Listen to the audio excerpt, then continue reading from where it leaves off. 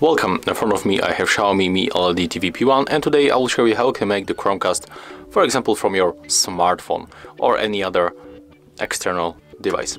So the first you have to be connected to the Wi-Fi network and as you can see I'm connected for GSM Center network.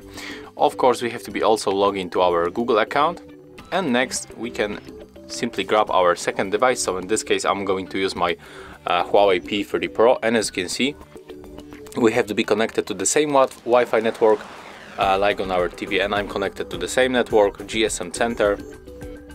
So right now how we can make the Chromecast? Simply open the YouTube play song that you want to cast. Let me just turn off that volume. And right now you have to tap on this icon on the Chromecast icon and then select your TV from the list as you can see, the cast is on the way.